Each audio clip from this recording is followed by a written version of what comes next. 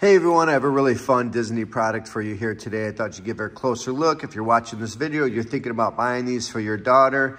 Um, they're really nice. I can tell you right now that they're not super loud, which is actually good. I don't really want my little kid to have air uh, headphones that are blowing music into their ears and giving them ear damage at such a young age. So they're not the loudest, but they have a good sound quality. It's decent. Um, they are Bluetooth, which is really nice. You can charge them when they're wireless, and this is great in the car or at home or while traveling or at family functions. If they just need a little bit of downtime from all the adult talking, they can put these on and they can watch their show. And of course, they love um, all the princesses on here, of course. I mean, come on, who doesn't? And a um, little bit of padding on the top here. So for the price point, I think they're really nice. I mean, they're adjustable, they're Bluetooth.